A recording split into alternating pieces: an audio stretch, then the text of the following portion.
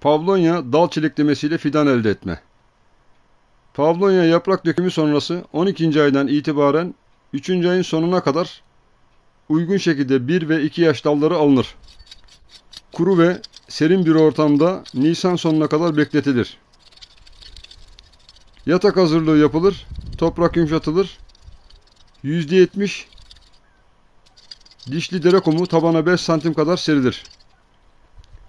Faydalanacağımız kuma %30 kadar yine bir miktar elenmiş hafif dişli bahçe toprağı karıştırılabilir.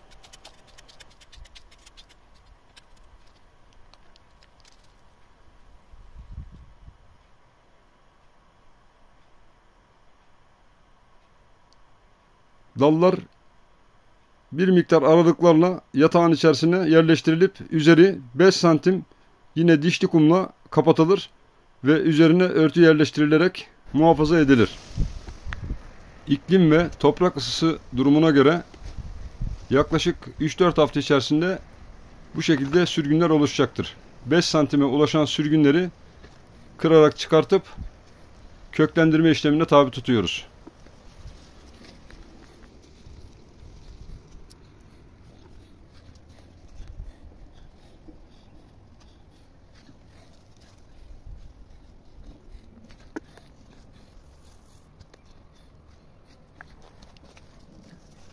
Devamı kanalımızdaki sürgün köklendirme videosunda.